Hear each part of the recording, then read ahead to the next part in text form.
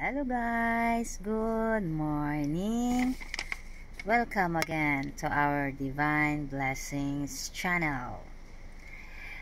Alam nyo guys, dapat tayo magpapasalamat kasi ang dami talagang blessings na dumarating sa buhay natin. Tulad ngayon, blessings na naman ang pag-uusapan natin. Kasi ito ay tungkol sa kaalaman ng ating spiritual. So, it's a blessing kasi another uh, uh, wisdom na maririnig natin. So, ang topic natin uh, this morning ay tungkol sa tatlong parte ng tao. Aman Trinity. You know guys, if meron tayong tinatawag na Holy Trinity, yun yung God the Father, the Son, and the Holy Spirit, eh meron din tayong tinatawag na Man Trinity. Ito yung Spirit, Soul, and Body.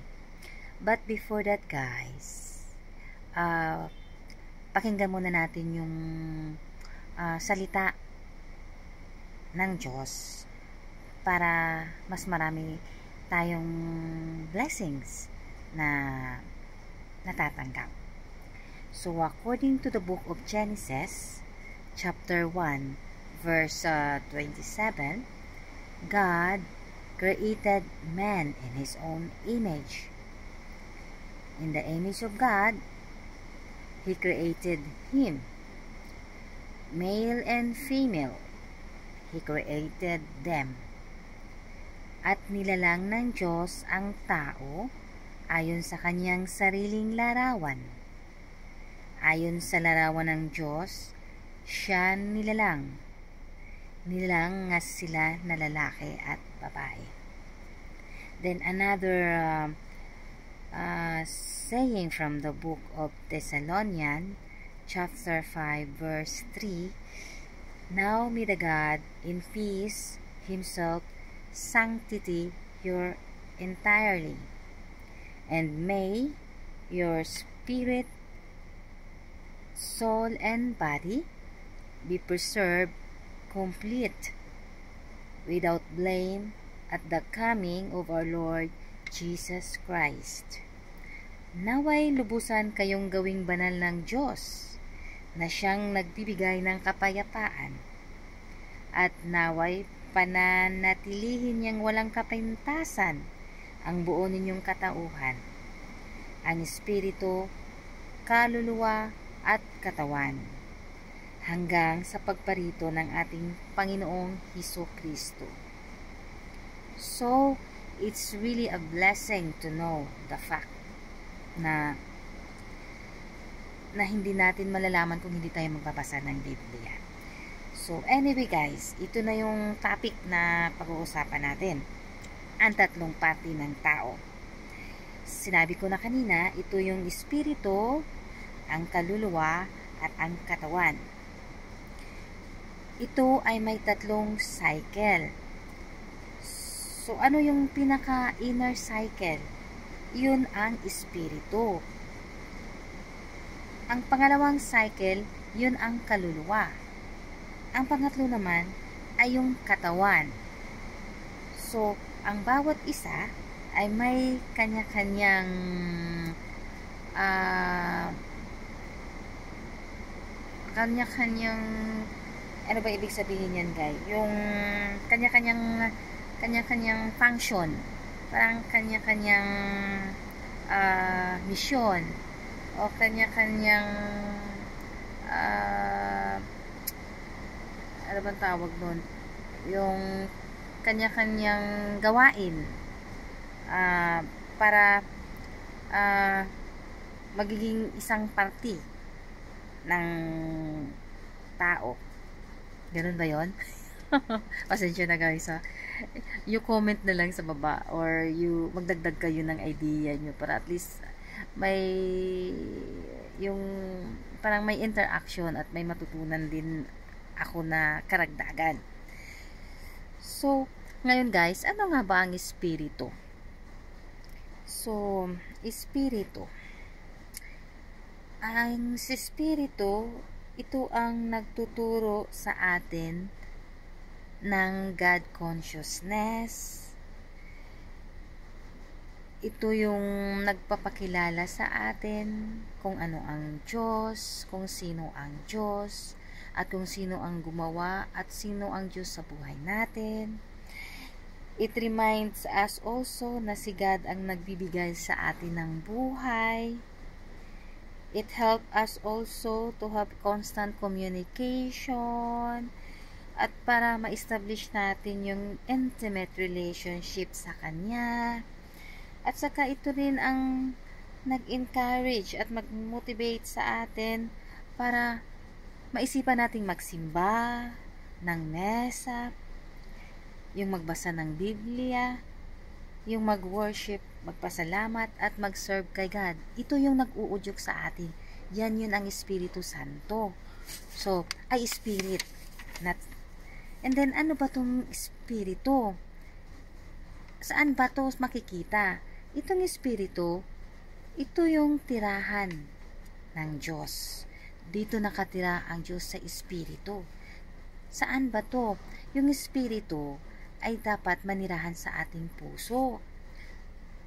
Para siya yung magiging taga-control sa ating buhay na siguradong hindi tayo mapariwara.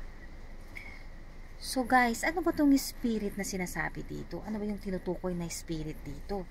So, ang spirit na sinasabi nito, ito yung Holy Spirit. Ayan. Yung Holy Spirit. Ano ba yung yung Espiritu Santo? ito yung ito yung ano yung ang hahatol sa ating kasalanan yan sa ating katuwiran at paghuhukom ito ang dahilan kaya nagkakaroon tayo ng konsensya sa pag-akusa at pagpasensya kaya nga may Biblia kasi sa pamamagitan ng Biblia tayo ay mamulat at maliwanagan at para tayo ay makapagpasya ayon sa kautusan ng Diyos at sa kalooban niya. So, yan ang Espiritu. Yan ang Holy Spirit. So, it's all about God consciousness. So, dito naman tayo sa pangalawa na cycle. Yung middle cycle, yun ang kaluluwa. Ano naman yung kaluluwa? Ito naman yung tungkol sa ating sariling kamalayan ito ang kalimitang nagpapasya kung paano natin gamitin ang ating katawan at espiritu. Ito ay may angking talino para posibleng mag-exist ang isang tao. Ito din ang usually ang nagdidictate kaya minsan if misguided tayo ng Holy Spirit, is surely mapapariwara tayo. Ito yung hindi na mamatay. Kailanman. Ika nga, kailangan magbalik loob na tayo kay God habang may panahon pa. Huwag nating hayaang magdusa ang ating kaluluwa habang panahon doon sa impyerno. Sabi nga, may dalawang klasing judgment. Yung yung, yung ay, may iba-ibang judgment para sa masama at para sa mabuti. Kasi nga daw, sabi nila, ang masama, yung, yung, yung taong gumawa ng masama at hindi pa nakapagbalik loob kay God, ang final judgment daw noon ay yung kamatayan. So, pag namatay ang isang tao ng masama, yun na yung final judgment niya. So, ibig sabihin, apan namatay siya, bibigyan siya ng hukom at doon na siya mamalagi sa impyerno. So at that time, ng pagkamatay niya, idiretso siya sa impyerno at doon pagdudusahan niya lahat. Grabe, pag nandun sa impyerno, nandoon yan sa Biblia. Basahin natin next time. And then yung mabuti daw, pag namatay, kung saan siya namatay, kung saan naputol yung hininga niya, kunyari sa kalsada, e kung saan daw lugar na yon, dun daw yung kaluluwa ay mananatili na parang tulog. And then, pagdating ng Panginoon, yun na yung judgment, yung kaluluwa na nandoon natutulog, eh, aahon yun at nabubuhay at yun na yun, bibigyan siya ng judgment kung mabait siya, nandun na siya sa langit. Yun yung ang yun yung natutunan ko. Tatalakayin din natin yan next time kung ano yun. At saka magpatulong din tayo sa mga magagaling yung mas nag-aaral talaga sa Biblia. So, anyway guys, ano yung pangatlo? Ang pangatlo, ang katawan. Ito yung katawan, ito yung kumakain, ito yung ito yung ano natin. Ito, nagsasalita ako, yun. Yan, katawan ko ang gamit ko. So, itong katawang ito yung katawang lupa na namamatay at naaagnas that uh, turned out into a dust. So, ito ang may makamundong kamalayan. Ito ay may limang senses na napapaloob sa ating katawan. Kung saan, ang physical na katawan natin ang dumidiskarte para makasabay sa makamundong aspeto. Hay, super delikado guys. Kasi, ipairali natin ang ating kaluluwa or yung kaluluwa natin, i-sundin niya yung makamundong kamalayan, i ito ang maging dahilan para mapalata, mapalayo tayo kay God. At ito din ang maghatid sa atin sa kapahamakan. Hmm. Another challenge pala ito guys. Na dapat mapanatili nating buhay ang espiritu sa ating puso para ma-guide tayo ng husto para yung kaluluwa natin ay hindi niya paanda rin ba yung kung anong gusto niya na yun bang uh, hindi yung yung kagustuhan ng ng makamundo kundi kung ayon doon sa kagustuhan ng Diyos Ama so sabi nga dito ang mundo yan yung nag-attracts para mapalayo tayo kay God. Sabi nga, oh, the flesh inflames the heart with evil desires. And then, the devils deceives the mind. So, kaya pala minsan, eh, ang daming, ang daming gumagawa ng mali, ang daming sumasabay sa mali, ang daming nagtotolerate ng mali, dahil ga, naloko sila. Kasi akala nila yun ang tama. Kasi hindi nga balance yung spirituality nila.